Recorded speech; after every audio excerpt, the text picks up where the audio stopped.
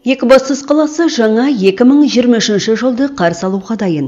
Шаһарымызда жыл сайынғы дәстүрі бойынша мұз айдындары, сырғанау төбешіктері орнатылды. Бұдан өзге шағын архитектуралық формалар мен Мәшкүр Жүсіп көшесінің бір бөлігі толығымен 3000-ға жуық қарлы бүршіктермен жарықтандырылған. Вся улица, да, просто очень красивая. Настроение поднимает. Здесь красиво, везде гирлянды, везде.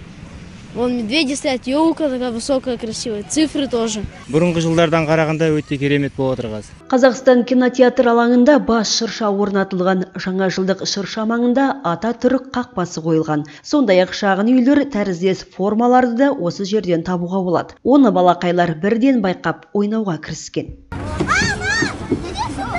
Тағы бір шағын сәулет нысаны өнер мәдениет сарайының жанында орналасқан. Шыршалар арасындағы жарқыраған бұғылар қалалықтарға ерекше көңіл күй сыйлауда.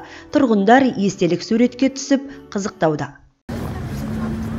Жарық қала екібассыз. Міне, қала тұрғындары үшін безендірілген екібассыз көшелерін аралап жүріп, ертегі әлеміне енгендей күй кешесің. Тұрғын үй коммуналдық шаруашылығы, жолаушылар көлігі және автожолдар бөлімінің мәліметінше, қалада жарық диодты жарықтандыру елордалық Корсак компаниясы мен Әл-Фараби жеке кәсіпкерлігі қосалқы мердігер компаниясының арқасында пайда болған.